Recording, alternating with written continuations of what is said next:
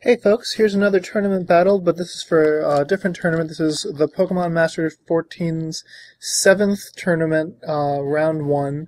Um, and my opponent is Asukatze, and there should be a link to his channel. Um, I start off with Crobat. I'm using my Sam team with very little variation.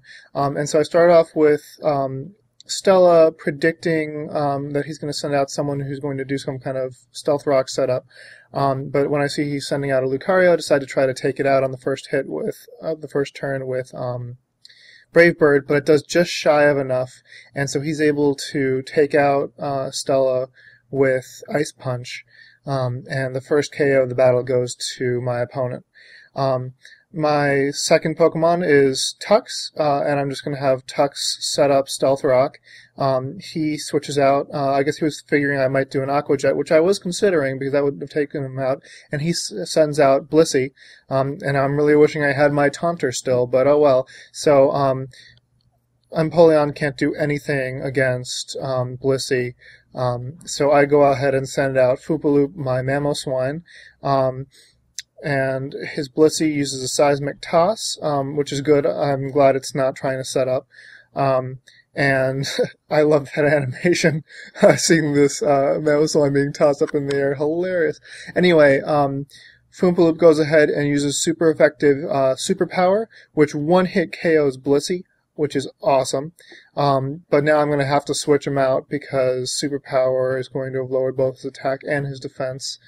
Um, Anyway, my opponent sw- uh, sends out uh, Lucario back out. I'm not sure who's faster. Oh, never mind. Lucario who dies from um, Stealth Rock, which is great. Um, so I guess he didn't want to keep him around for fodder later on, which is understandable. Um, anyway, he sends out uh, Infernape, who uh, between fire and fighting moves, um, and I know he's going to outspeed Foopaloop. There's no point in keeping Foopaloop in, so I pull her back and send out um, Zapdos, who will resist a fire type move, uh, fighting type move, and won't do anything fire type. Uh, he uses U-turn, um, which I wasn't expecting. Gets a crit, but doesn't really do anything because it's resisted. Um, and uh, anyway, uh, my Zapdos is physically um, bulky, uh, and so he pulls back, pulls that back, and sends out um, uh, Tyranitar.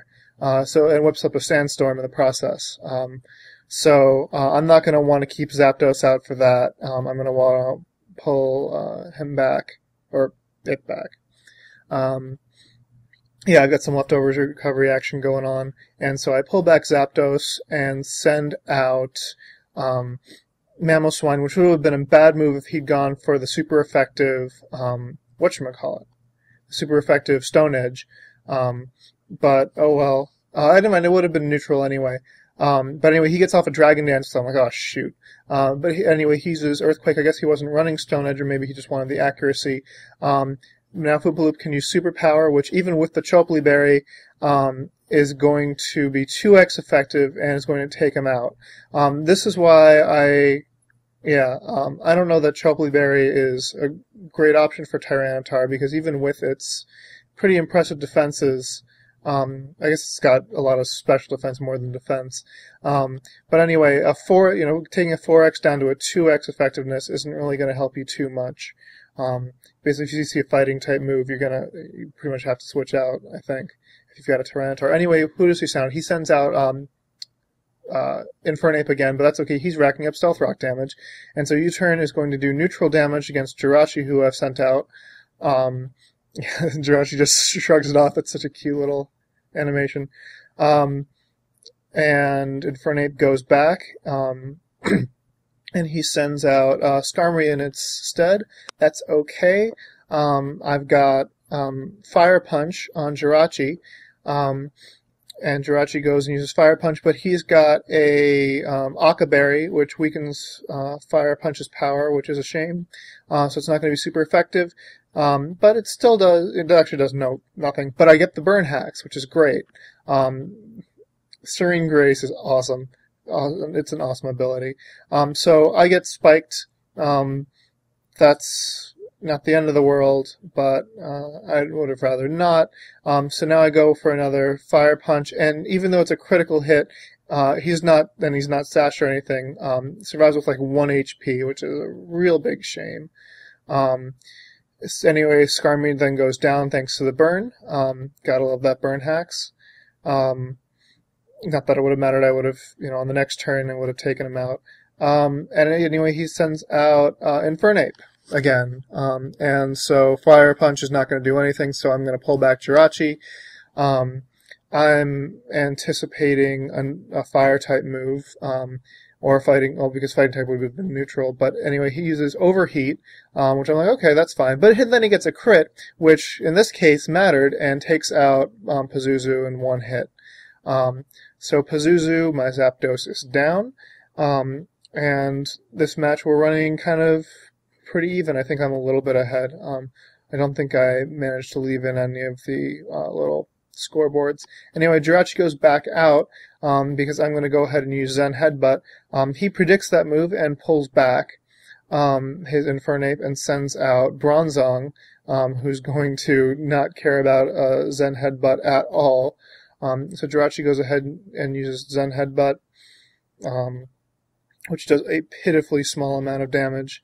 and I think he's got leftovers recovery anyway, so it's going to uh, recover that um, maybe not. I guess he didn't have. Okay, so anyway, I send out um, Mick, my Umbreon, uh, my shiny Umbreon, who's hurt by the spikes, um, and he uses Hypnosis, not realizing that Umbreon's a dark type and is immune to Hypnosis.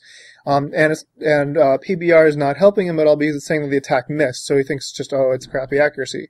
So I get to go ahead and use Curse, um, which is going to um, be extra good um, because he uses gyro ball, so it halves.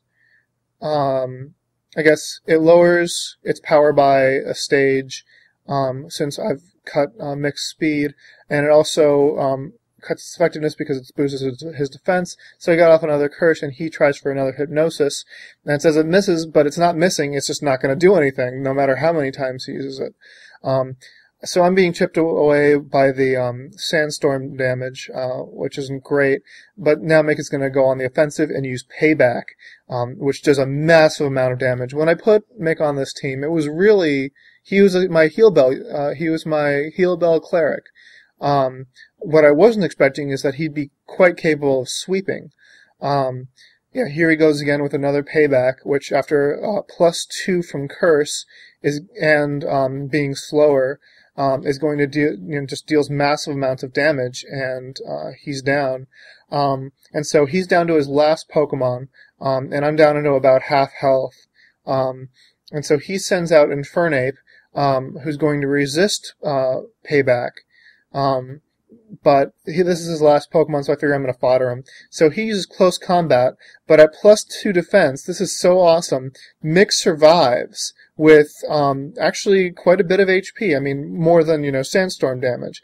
Um, and I'm just flabbergasted. And so Mick gets off a payback, um, which he's now minus one defense, and so it manages to take him out. And so Mick actually um, beats him, even though I just left him in for fodder, for death fodder. Just absolutely amazing. Mick wins, and I've won the match. So I'm proceeding to round two. Um, anyway, comment, rate, subscribe, and challenge. I hope you enjoyed that as much as I did. Um, yeah, so so long.